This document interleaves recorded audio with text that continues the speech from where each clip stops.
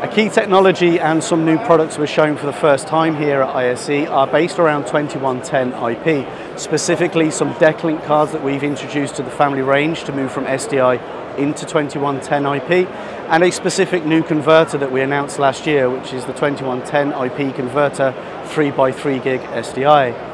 That converter is specifically used so we can take in 3x3 SDI based signals or devices into a 2110 infrastructure and then use these as transceivers and receivers around an integrated service.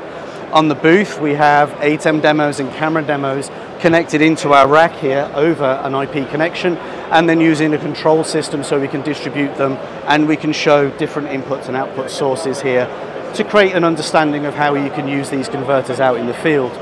2110 IP is a new technology that we're going to be expanding into this year. So we're very keen at the show to learn a lot more about how people would like to see it grow and evolve with us, what the applications in the field will be for our technologies, and how we can support customers with this fantastic new product going forward. So if you want to see more about the product, come and see it at the show. And then likewise, there's a lot more information on our website at blackmagicdesign.com as well.